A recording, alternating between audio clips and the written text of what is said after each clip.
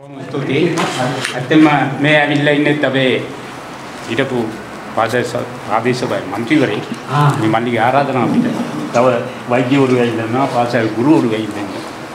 මේ මල්ලිගේ ආරාධනාව අපිට. ඉතින් ඔව් දැන් ඒ එතුමා ගැන කියන්න ඕනි. කවමදාවත් ඉස්ලාම් ජනතාවත් එක්ක වෛර කරපු පුද්ගලෙක් නෙවෙයි. උදව් උපකාර කරලා තියෙනවා.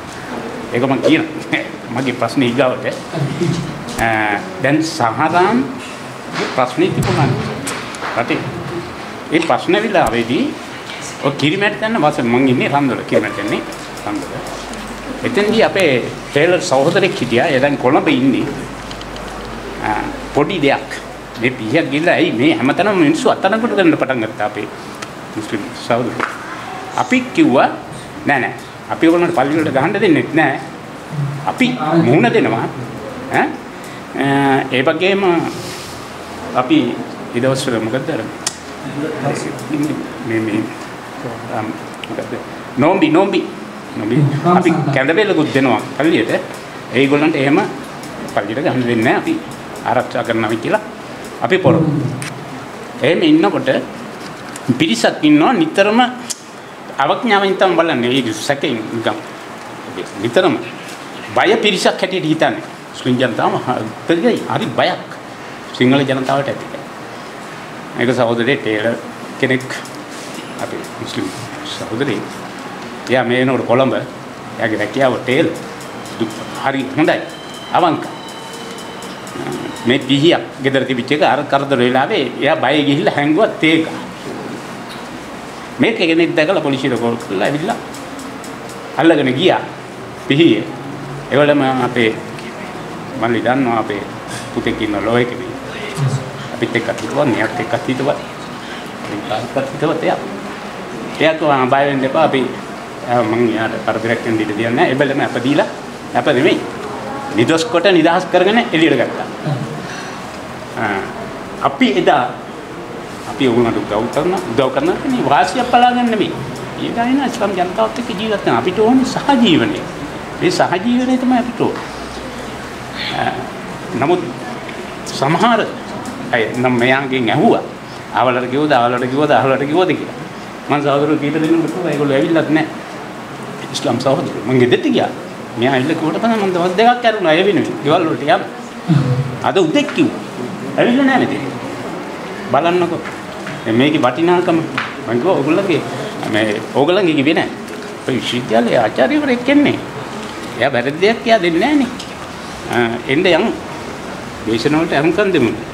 හුඟක් අය ආවා. ඒගොල්ලෝ ආවේ. බලන්න. ඉතින් මේකට මේ දේ මේ වෛරය ඇති කලේ කවුද? සිංහල මුස්ලිම් ජනතාව අතර වෛරය ඇති කලේ කවුද? සාමාන්‍යයෙන් දන්න විදිහට අපි දන්නවා ඉතින් දැන් ආත්මය නැවතත් ප්‍රශ්නයක් යොමු කරන්නේ. මේ සමාජයේ මුස්ලිම් නොවන ජනතාව වශයෙන්? ඔව්. දැන් සිංහල මුස්ලිම්. ද්‍රවිඩ හෝවා මිනිස්සුනේ. මේගොල්ලෝ අතර කොහොමද මුස්ලිම් ජනතාව හා සිංහල ජනතාව ද්‍රවිඩ ජනතාව අතර මේ වෛරය ගොඩනගන්න පාදක උනේ කවුරුන්ද? මුස්ලිම් නොවන ජනතාව සිංහල ජනතාව හින්දු ජනතාව ඉතෑ ඕනෑකමෙන් සහජීවනය ගොඩනගන්නට දායක වෙනකොට. මුස්ලිම් ජන සමාජය තුළ ඇයි පුද්ගලිකවේ මහත්මයා උත්සාහයක් දරලත්. ඇයි මේ වැඩසටාන් වලට සභාගි වෙන්නේ නැත්තේ ඇයි මේ තත්ත්වය උදා වෙලා තිබෙන්නේ කියලා අහනවා පළවෙනි ප්‍රශ්නේ. මේක තමයි යථාර්ථවාදී ඇත්ත. මුස්ලිම් ජන සමාජය තුළත් දැන් අපිට තිබෙනවන විවෘත මනසක්.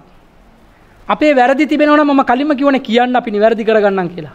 ඒකන වෙන්ඩ ඕන වැරදි දන් නිවැරදි කරගන්න ඕන. ආගමේ දෙයක් ඔබ වැරදියට වටහගෙන තිබෙනවනම් නිවැරදි පැත්තමොකක්ද කියන එක ම පැදිලි කරන්න. සමාජයේ දෙයක් අපේ පැත්තෙන් වැරදි දෙයක් වෙනවනම් ඒ වැරදි අපි නිවැරදි කරගණ්ඩුව. නැත්න ආගමේ තියෙන දෙයක්ම වැරදි කියල ඔබ ස්ථාවරයක් දරනවනම් ඒක ඔබ වැරදිී කියලා කියනකොට මම ආගම පැත්තෙන් තියෙන සාධාරණය මොකක්ද කියන එක පැදිලි කරන්න මේකන සිද්ධ විය යුතු කාරණාව ඒකට අපේ සමාජයේ නොයකුත් අය අකුල් එලනවා. එකයි ප්‍රශ්නය. හේතුව අපේ සමාජයේ වැරදි පවා ප්‍රසිද්ධියයේ පිළිගැනීමට සූදානම් මානසිකත්වය මා සතුත් තිබෙනවා අපේ සහෝදරවරුන් සතුව තිබෙනවා. ඒ මානසිකත්වය මුස්ලිම් සමාජයේ ඉන්න සියලු දෙනාගේ මනස තුළ එකයි ප්‍රශ්නේ. අපේ වැරදි අපේ ඇතුළේ කතා කරගමු. ඒ ජනතාව ඉස්සරාපිට ගිල ඒ වැරදි කතා කරන්න එපා අපිව පාවා පාවා දෙන්න එපා. වචන ඒකයි. මේක පාවාදීමක් නෙමෙයි. ඔබ මෙසේ අපේ වැරදි පෙන්වා දෙන අවස්ථාවදි තමයි අපේ ජනතාවට කියන්න බලන්න ඔබේ වැරදි ක්‍රියා කලාපය නිසා ඒ ජනතාව කෙතරම් දුරට ඉස්ලාම් වෛරී කරනවාද කියලා. ඉස්ලාම් දහම පිළිකුල් කරනවාද කියලා. නිවැරදි වෙන්න කියලා අපේ ජනතාව සංශෝධනය කරන්න පුළුවන් අවස්ථාවක් මේක. මේක ජීවමාන සංශෝධනයක්. ඒ නිසා තමයි ඒ වැරදි පව හෘද සාක්ෂියට එකඟව සාධාරණ පදනමක් මතව යොමු කරනකොට අපි නිවැරදි කරගන්න සූදානම් කියලා ප්‍රසිද්ධිය පවසන්නේ.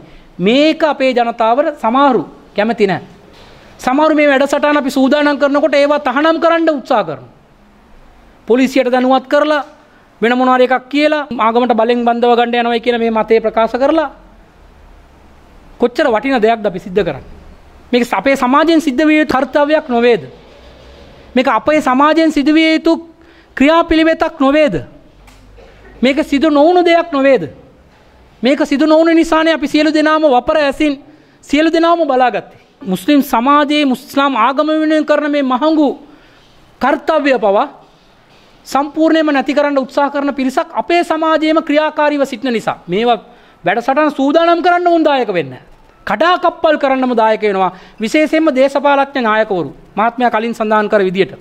මුස්ලිම් ජනතාව පිල්වලට බෙදලා තියෙන්නේ ඔවුන් මුස්ලිම් ජනතාව වෙනුවෙන් අඩනගනවයි කියලා තමයි සමාජය වුන් කතා කරන්නේ. නමුත් ඒ දේශපාලන නායකවරුන්ගේ මුස්ලිම් සමාජයට ඇති වුණු දේ මොකද්ද? කිසිම දෙයක් වෙලා නැහැ. සමහර දේශපාලන නායකවරු ඒ පළාත්වල මිනිස්සුන්ට උදව් උපකාර කරලා තියෙනවා සිංහල මුස්ලිම් ભેදයක් නැතිව. ඒක නෙවෙයි සමස්තයක් වශයෙන් දේශපාලන නායකවරයෙක්ගෙන් බලාපොරොත්තු වෙන්නේ. දේශපාලන නායකවරයෙක් නම් සමස්තයක් වශයෙන් මුස්ලිම් ජනතාවගේ සුභසිද්ධිය උදෙසා කටයුතු කරලා තියෙන්නට ඕන. දේශපාලන නායකවරුන්ගේ මුස්ලිම් ජන සමාජයේ අධ්‍යාපනයේ සුභසාධනයට මොනවද වෙලා තියෙන්නේ? සමාජ සුභසාධනයට මොනවද වෙලා තියෙන්නේ? ආධ්‍යාත්මික සුභසාධනයට මොනවද වෙලා තියෙන්නේ? ආර්ථික සුභසාධනයට මොනවද වෙලා තියෙන්නේ? දේශපාලන නායකවරුන්ගේ පුද්ගලික සුභසාධනයට මොනවද වෙලා තියෙන්නේ? ඔක්කොම ආවේ හිස් අතින් කොළඹට. දේශපාලන මුස්ලිම් නායකවරු දැන් ඉන්නේ කොහමද? යාන වාහනවල තරම මොකද්ද? උසස් වර්ගයේ යාන වාහනවල ගමන් කරන්නේ. තමන්ට සේවයට ඉන්න සේවක පිරිස කෙතරම් සුකෝපභෝගී මහල්වලද උන් ජීවත්වෙන්. මේකයි තත්ත්වය. සියල්ලක්ම ආර්ථිකය සූරාකණ පිල්වලට දෙදස් පාලවේදී යහපාලන ආණ්ඩුවක් පීටුවා ගැනීම සඳහා. මුදල් ඩීලින් කරපු මුස්ලිම් දේශපාල නායකවරු කෞද කියල වන්දන්නවා. සදාචාරාත්මක නෑ මේ සභාවට මම මේ ප්‍රසිද්ධිය ප්‍රකාශ කරන එක. චෙක්පත මොකක්ද ඒවල වටිනාකම මොකද්ද? ඔවුන් කරපු කේවල් කිරීම මොකද්ද? සියල්ලක්ම දන්නවා. ඔවුන්ට යාපාලනය එනවද? රාජපක්ෂ ආණ්ඩුව එනවද කියන එක නෙමෙයි ඔවුන්ට අදාළ වෙන්නේ. කුට්ටි ටික ඕමාරු වෙන බර ප්‍රමාණය. කිලෝග්‍රෑම් ප්‍රමාණය කුමක්ද? කිලෝග්‍රෑම් 1000කින් කුට්ටි බෑග් එක බර වෙනවද? 500කින් බර වෙනවද? තරාදිය බර වැඩි වෙන්න ඕන. චරයි. ඒ නිසාම තමයි පුද්ගලිකව ඒ දේශපාලනය අපි කැසි කසලක් ලෙස සලකන්නේ. ඒක අපි පිළිකුල් කරන්නේ. ඒ නිසාම අපි මේ දේශපාලනේ රටක් වශයෙන් වගකීමක් තිබෙනවා බුද්ධිමතුන් දේශපාලන ශාස්ත්‍රය තුළට යන්නට ඕන.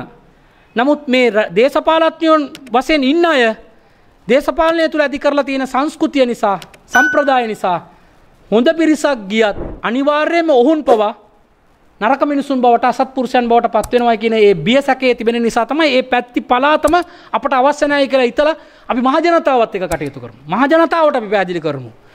පුළුවන් බලකාරකම් තියෙන අයට මේවා පැහැදිලි කරලා හරියන්නේ නැහැ. අපි පොදු ජනතාවත් සමග කටයුතු කරමු කියලා මේ ක්‍රමය අපි යොදාගත්තේ.